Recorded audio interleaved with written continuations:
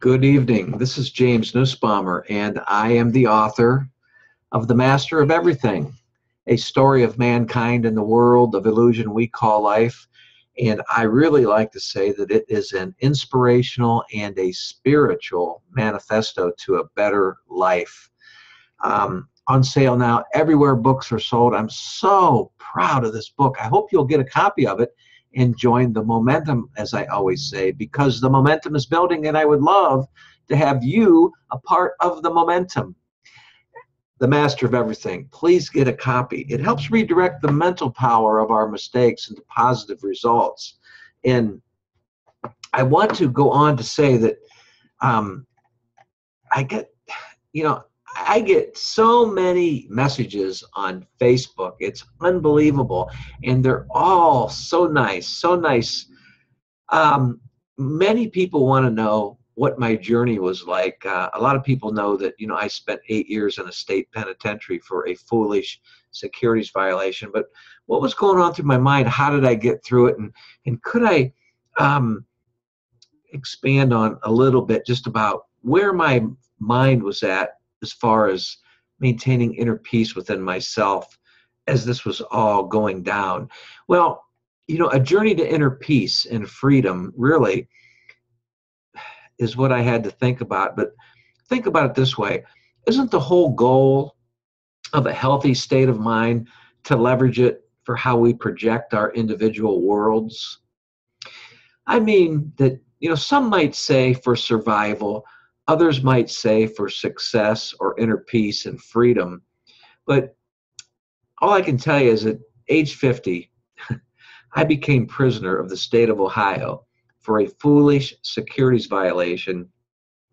As a financial advisor, I had made this mistake after 25 years in the financial services industry, a career that I loathed and often would scold myself and say, What are you doing in this business? But all of a sudden, the years went by and 25 years had gone by, and, I, and I'm sure you can understand how that goes. But there, then, after all this went down, an example setter judge, an example setter judge, wanted to make an example out of me, showed showed me that that the next financial advisor was going to think twice as he pointed the finger at me, saying, the next financial advisor is going to think twice before they do what you do. So, you know, the judge told me that I should have known better. And he was right. I should have known better. But he slammed the gavel hard to 10 years in a state prison. I must add that anything that could have went wrong or go against me certainly did. But I was willing to put up with it because something inside of me was telling me that this has to be for a while anyway. Besides, I had no choice in the matter. As much pain as I was going through, a comforting and secure voice within me kept telling me that I was going somewhere and to simply hang on.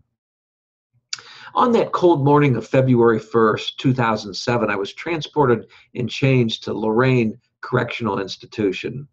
I felt as though I was so weak. I was exhausted and uncertain as ever before in my life, but I hadn't lost sense of the promising thoughts and expansive vision of light at the end of the tunnel. It was kind of like that I had been jolted, something that jolted me during my stay in the county jail while I was waiting to go to prison.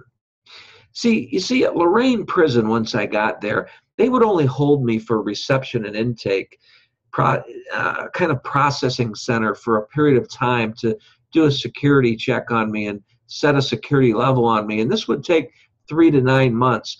But while I was assigned there and, and waited for a spot in the overcrowded uh, prison system, uh, that I, I would be there for longer than I expected. And it was just, it was in maximum security and it was just terrible, terrible. But in that year alone, the state had brought in around 30,000 new prisoners. And that's why my my stay at the processing center, the reception intake center, was so long, is because the system was just flooded with people going to prison for reasons that maybe a lot of them didn't need to be there. But for the time being, I would remain, like I'd said, in maximum security. Though I'd never been a violent, a violent or posed, or posed an escape risk, but what maximum security really meant was being locked in a cell 24 7 with another inmate, double occupancy, other than to shower twice a week and to march to the dining hall three times a day. Um, other than that, but after a buzz haircut, I can still re- remember sitting in that chair with um, inmates who were barbers, inmates who had been in prison for a while, um, clipping down to the skin the hair off of every new inmate that came in there. But after a buzz haircut and an issue of prison clothing, I was taken to prison house number four, where I would spend as, as the next few to several months, like I had said. And as I had watched the guard slide a huge key into this heavy, thick steel door to house number four, my thoughts of what prison prison must be like raced through me as I as I said to myself, well, this is it. The guard forewarned me to follow him directly to my cell without looking at another inmate or any of the other inmates around that were waiting to harass me. Harass me, and uh, which is the norm when new inmates come in. But as he slowly swung open the vault type door, blasts, I mean, blasts of insanely loud noise just surged directly through me. I stepped into the prison house, which held about 260 prisoners, all double bunked into single cells, and I immediately noticed the high ceilings, which reminded me of an arena. The circular design featured two tiers called ranges that resembled a balcony and, and ran all around the outer walls. A three bar railing separated the pit from the cells, lined up one after another. This was certainly a lion's den, and I could see immediately that in order to survive, I would have to decide I'd really have to, to decide really quickly what kind of a lion I was going to have to be. This surely was not the place where the lion and the lamb were going to lie down together.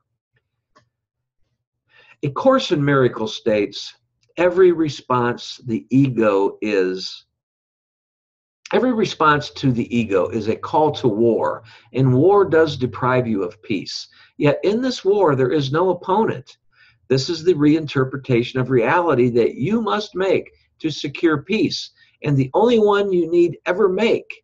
Now, I'm going to repeat that again because that's very, very profound. A Course in Miracles states that every response that the ego, every response to the ego is a call to war, and war does deprive you of peace. Yet in this war, there is no opponent.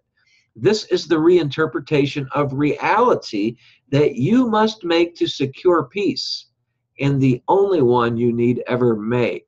End of quote.